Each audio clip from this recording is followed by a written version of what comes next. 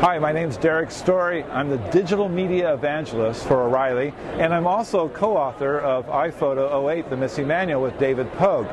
So there's a lot of things I like about iPhoto, and one of the things is right now, especially if you're thinking about getting an iPhone, or if you already have an iPhone, this application is the perfect companion for the camera function in your iPhone. And the iPhone actually takes great shots. You just hold it up, press the little button, and you have a good shot there. Then all you have to do is connect your iPhone to your computer, have iPhoto open, and you can just drag the shots right off your camera in the import window into iPhoto and use them.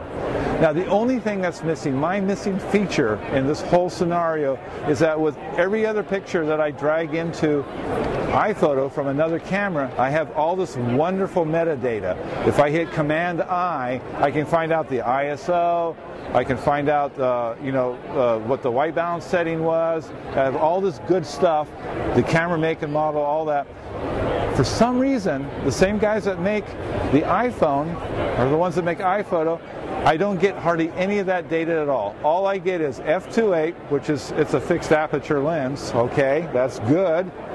And I get that it's an iPhone, which I already knew.